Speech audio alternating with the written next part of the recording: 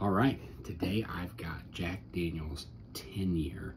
This is batch two, bottled at 97 proof, and let's just dig right in because I cannot get enough of these new Jack Daniels innovations. If you see them do a pure whiskey, not a flavored thing, but a pure whiskey, you got to jump all over it. I had the 12 year a few weeks ago. It was killer. It was 107 proof.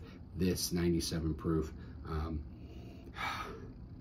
might even be better. Uh, it's like a leather shop on the nose. It's got that classic Jack Daniels woodsiness there as well. A little bit of tropical fruit, a little bit of spice, a little bit of everything. Um, but bottled at this very sippable 97 proof. So let's let's give it a taste. Mm.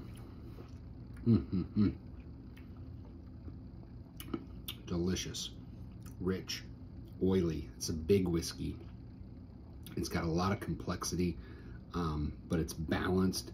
But that mid palate oiliness and weight and leather that just kind of finishes with a touch of that spice. Um, man, any new Jack Daniels innovation, pure whiskey wise, has just been a winner. They've just kept coming.